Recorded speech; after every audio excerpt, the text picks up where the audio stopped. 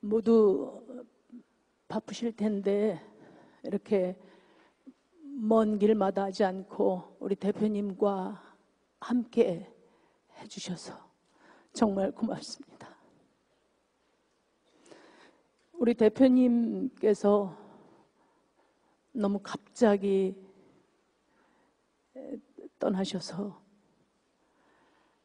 가시는 길이 무척 외로우실까봐 걱정을 했습니다. 그런데 전국에서 정말 많은 시민들께서 애도해 주시고 위로해 주시고 그래서 우리 대표님께서 가시는 길이 덜 외로울 것 같습니다. 이렇게 많은 분들이 아파하실 때 우리 대표님이셨으면은 아마 따뜻한 유머 한마디로 거꾸로 여러분들을 위로했을 텐데 제가 그런 재주가 없네요. 여러분께서 많이 사랑하시고 정말 멋진 정치인 우리의 지도자 노회찬을 지키지 못해서 정말 죄송합니다.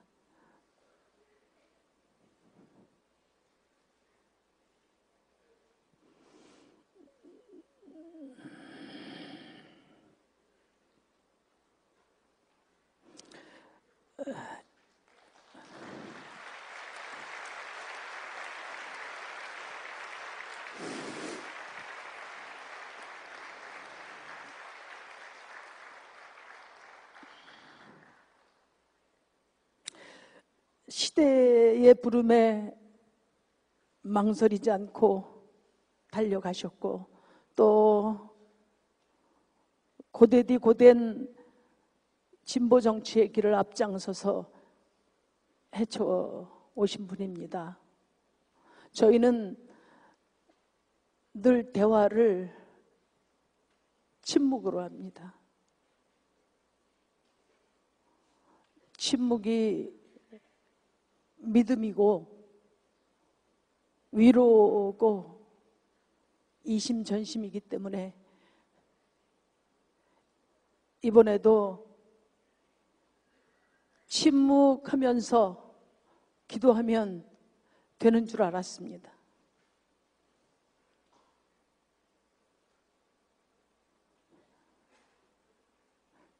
칠흑 같은 어둠 속에서 수, 수많은 번뇌의 나날을 날밤을 지셨을 우리 대표님 생각하면 억장이 무너져.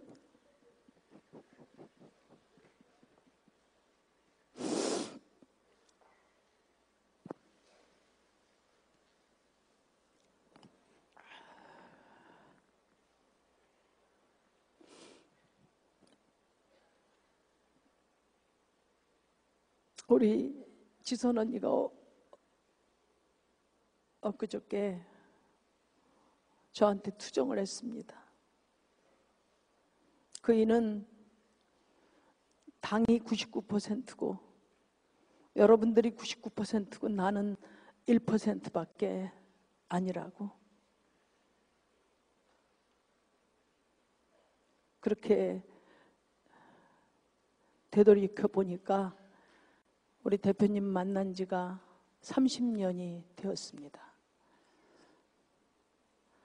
우리 대표님 용접공하고 저는 구로동에서 미싱사하고 그렇게 알게 돼서 그 후 민주노동당부터 정의당까지 그 진보 정치에 험한 능선을 함께 걸어왔습니다. 욕도 함께 먹고 칭찬도 함께 받고 함께 좌절하고 함께 일어섰습니다. 우리 대표님이 나는 멈추지만 당은 앞으로 나가라 말씀하셨지만 저는 노예찬 없는 정치 생각해 본 적이 없습니다. 노예찬의 꿈이 제 꿈이고 우리 정의당의 꿈이고 우리 국민들이 바라는 정치라고 저는 믿습니다. 끝까지 우리 대표님하고 함께 가겠습니다. 우리 대표님이 이루고자 했던 그 꿈, 여러분들과 제가 꼭 이루겠습니다. 품격 있고